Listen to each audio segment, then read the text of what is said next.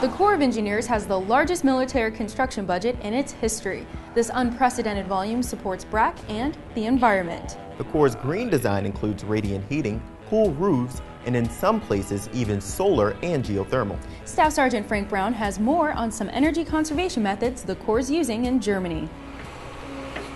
A groundbreaking project is underway in Ansbach.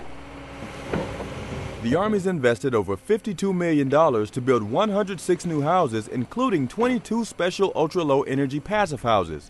They'll be located in Ansbach's Urlas community. The term passive house means that the townhouses are constructed to use natural resources to control the interior climate rather than using active heating and cooling systems. Um, right now, it's in raw, const- raw construction condition. Uh, this is probably uh, the state of most of the houses right now, but uh, by next year, they'll be all finished. The interiors will be in and uh, be beautiful houses. Now, these housing units look just like any other unit, but they're so efficient that they reduce average heating costs by up to 90% per year. Money that can go to quality of life programs and new equipment for our troops. These passive houses are the first of its kind for the Army in Europe. It is exciting because, uh, I mean, there was nothing here before. We're, we're basically starting from scratch and we're building a whole new community. The new passive houses will be home to soldiers and family members of the 12th Combat Aviation Brigade. Expect the first phase of the project to be complete by late 2010.